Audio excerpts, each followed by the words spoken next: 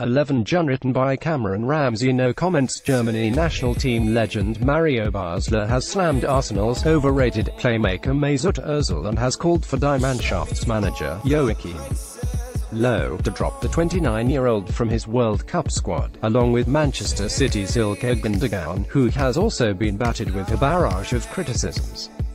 The creative protagonist, beside Gundogan and Everton Cenk recently welcomed Recep Tayyip Erdogan, the president of Turkey, to London, a meet and greet which seemingly hasn't been received well in Germany, with Basler being a somewhat irked figure hid behind the damning judgments.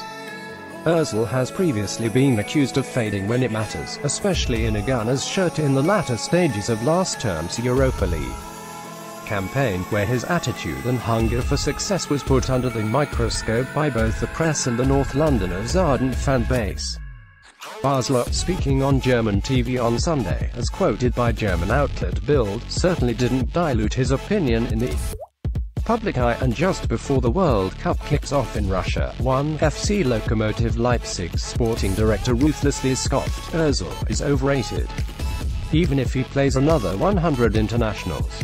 To me, he's a follower. He has extraordinary abilities, of course. But in big games, he doesn't put them on the pitch. If they, Gundogan and Ozil, are boot in the first World Cup match of the German team, Jogi Low must respond. He should replace and not let them play, otherwise he's putting the major honor in jeopardy.